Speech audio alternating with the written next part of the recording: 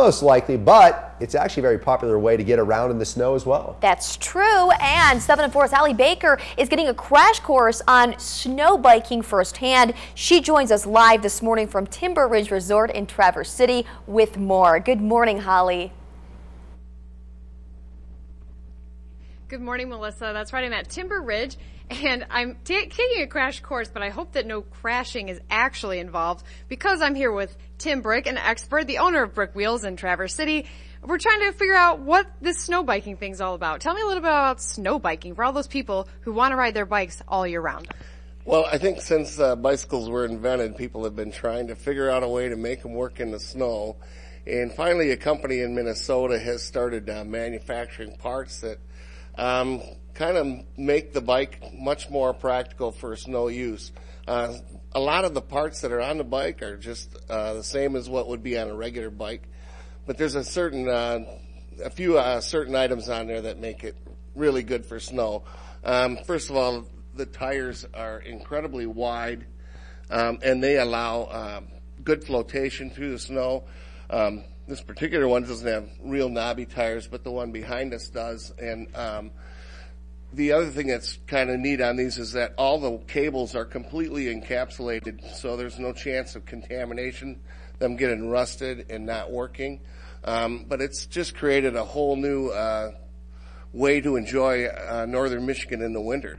Those tires are big. There's really a lot going on there with those. But with those tires, you can really get into the snow. You can go on trails. You can do a lot with them, right? Yeah, absolutely. And believe it or not, those are not the widest ones. There's some wider ones than that, and there's some knobbier ones than that. Uh, like anything, there's a lot of uh, selection now, now becoming available as it becomes more um, uh, popular. Uh, actually, that chain uh, on that bike also is a rust-proof chain, so um, there's a lot of uh, really neat features that allow it to work real well.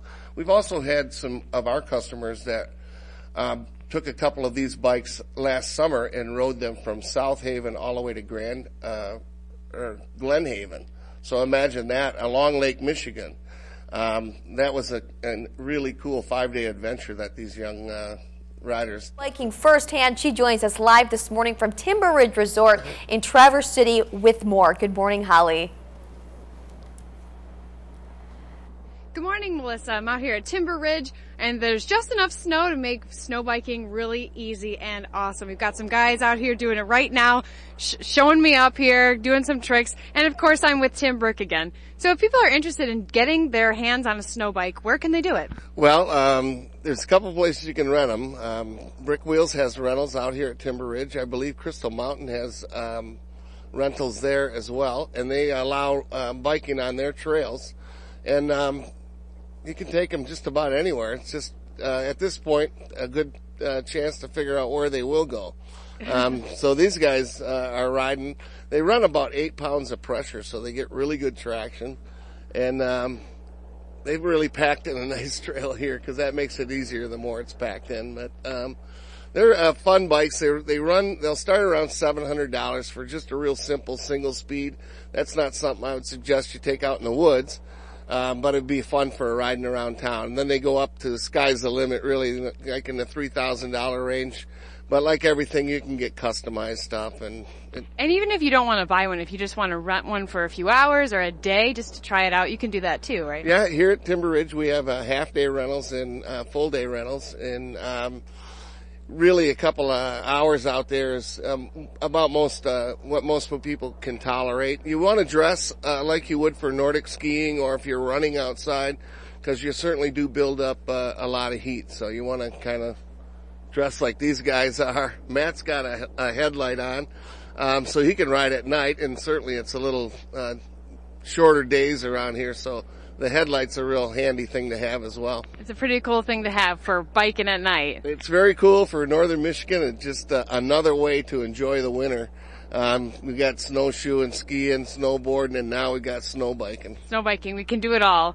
All right, well, it's kind of like riding a bike. It is a bike. Do you think I should uh, give it a try?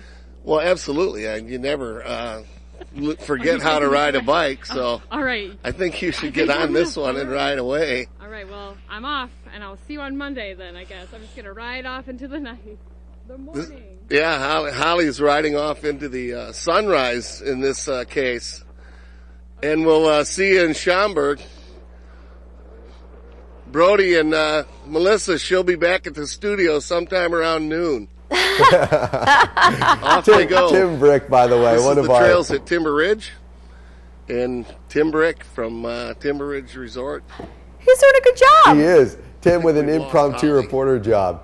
Uh, we, we absolutely love Tim. We have We do. We miss Tim Brick. yeah, fun guy. Uh, Brick Wheels over on 8th Street. If, if you want some entertainment, pop in. He'll keep you entertained. He did a Yes, nice job there. great Holly, guy. Uh, after her spill on the skis the other day, she kept it going. She on the kept bike, it so- going. And have you ever